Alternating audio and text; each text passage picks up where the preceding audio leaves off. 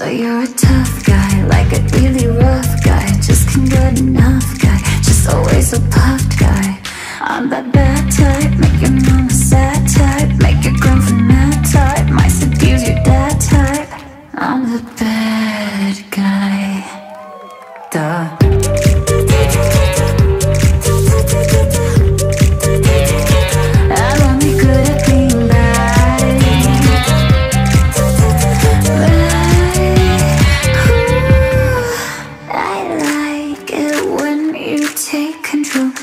even if you know that you don't own me.